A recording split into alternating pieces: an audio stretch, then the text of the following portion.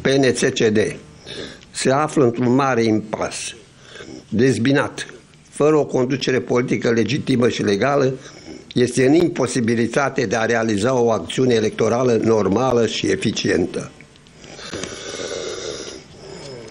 După discuții personale cu toți liderii formali ai acestui partid și în urma unei analize atente, am ajuns la concluzia că cele mai mari șanse de a coagula și a relansa PNCCD-ul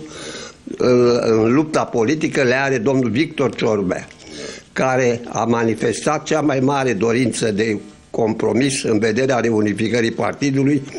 și se bucură de majoritatea adeziunilor organizațiilor și membrilor noștri. De aceea, vă îndemn pe toți, indiferent de simpatiile personale,